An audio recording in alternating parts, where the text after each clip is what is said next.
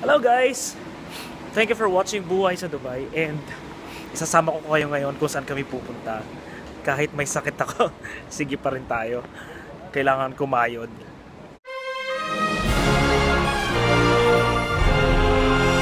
Ang sundo ko is nandun sa kabila. Kailangan ko tumawid. Yan ang hirap ng buhay dito sa abroad kapag yung wala rito yung pamilya mo na kapag may sakit ka like ngayon sa akin, eh, I have to take care of myself. Pero good thing, may mga kaibigan tayo na they are reminding me na uminom sorry, to drink more water and yung tipo ko na rest muna, etc. etc. Kaya yun, ah, dito eh napaka-importante ng mga kaibigan mo. Okay, so now, while we are on our meeting, we're here in Paparotti, in, inside the Algorer. What kind of cheese to, te? Cheese. Masarap sir. Masarap yan sir. Hmm, try natin. Sige, dito na lang. Hmm. Gusto niya mag-atay. Seryoso sa music ah. Okay, so we're here guys. To meet the Lolas. Okay, so sa Bell Park. Okay, so the entrance here in the park is 5 dirhams. Halika na, nandito sila. Savor. Hello guys, I'm with the founder and members of Kabayan Kapit BC. afternoon. The new president. Kaya nga. so, inaantay namin yung ilang contestants na darating. Kaya yun. So, yun nga, nabigay ko na yung update sa kanila sa this coming November. Na Ah, so ito yung salad nila ate. Tapos anong anong ulam natin dyan? may bangus na Oh, inihaw. may may ipon. Sir, Ay, yung panalo oh, ihaw. ihaw. Ano so, paano kaya yun? Walang buksan, toothbrush? net, pakibukas mo na lang net para Going to Karama. We're near, right? No? Which market? Okay, so this is the famous Al Karama market. This Karama soup. Ah, the souk is that side. This side and two sides. Ah, okay, somewhere here, my friend. Yeah. Hello. Okay. Wow. Ito yung pinaka-title na. Isa-isa. Okay guys, so we are here now at the Calagrams uh, batch 20. Okay. Is it your graduation day na ba or not? Okay, pero guys, uh, this is the fashion-inspired Barbie doll cakes na meron sila. Kaya isa-isahin natin lahat ng kanilang mga entries and explain kung bakit nga ba ah, napakaganda ng mga gawa nila. Ayan yung mga ladies natin. Ayan, oo, para umorder sila, no? And ito, nag-iisang ikinakasal. For sure.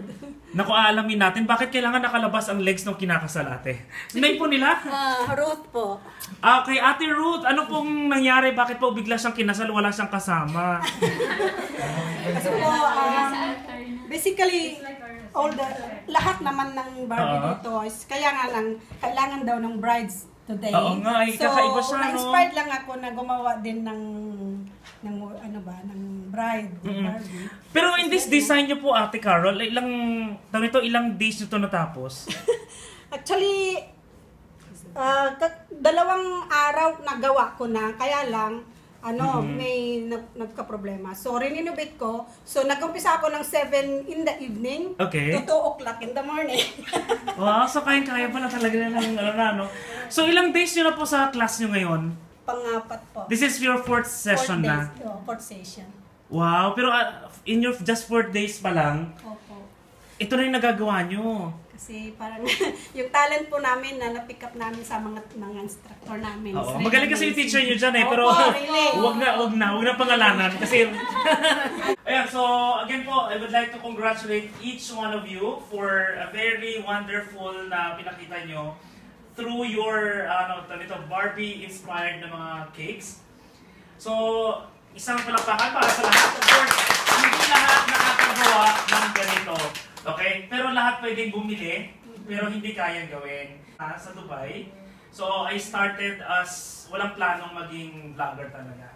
And hindi ko rin inisip at in-expect na mangyayari to. But then, minsan, ang buhay natin sa abroad, hindi natin alam ano ang maaaring mangyari. But then the surprise part is, like yung maaaring, have you experienced, but have you think, a thought of ah, magiging cake decorator kayo someday? Nung nasa Philippines pa lang kayo? Wala pa. Wala Hindi pa. Okay. Okay, let's start dito, ate. Ano po yung ah, pangarap niyo po? Bakit kayo naging isang OF? Yan, o palabok o something. But then every may event, yun ang pinag-gift nila. And then, so dahil masarap sila gumawa or magluto, eh nagtatanong yung mga tao. Then later on, nag, nagdi-deliver na siya ng, ng, ng pagkain na gano'n, let's say barbecue. Then now, she has two, two restaurants na. Wow. So gano'n lang yun kasi talagang if you really doing good dun sa product mo talaga, yung word of mouth lalo na sa ating mga Pilipino, normal sa ating chika, di ba? So madali kumalat yung balita na kung, ay si Carol magaling na sa gumawa ng cake, pwede tayong order sa kanya. Okay, and of course, huwag nating pababayaan ang, okay boss, bakit po tayo nag-abroad? Eh, bali ano, para sa future, Oo. para makatulong sa family din. And then, ah, yung reason naman na naging doon sa Kalaga, Oo copy, nga, bakit ka nag-cake? copy ko na lang yung misis ko kasi wife ko kasi yun eh. Ah, ano sa yung naman reason, pala? para dun sa baby namin. Naninigurado si Mrs. na walang pupuntahan si Mrs. Okay. Isa pa po lalaki. Ah, oh, pala! Importante yun mamaya. Okay, ah bakit po tayo nag-abroad at bakit po tayo nag-enroll sa Ayaw Canada? po. Nag-abroad po ako kasi naniniwala ko na mas maganda yung job opportunity dito Mm. compared sa Pilipinas.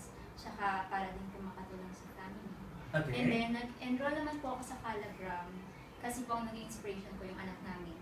Kasi she wanted to have a Sophia the first na cake but I don't know how to make it.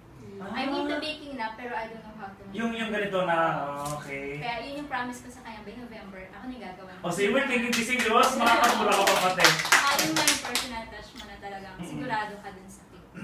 Ah, okay. Ang hirap tumayo, ha? Ano? Thank you, Pablo. Kasama ko si Pablo again. Ah, kasama ko na siya lagi. Lagi nga ba o hindi naman? Hindi naman lagi. Araw-araw lang. Oo. Hindi lagi araw-araw lang.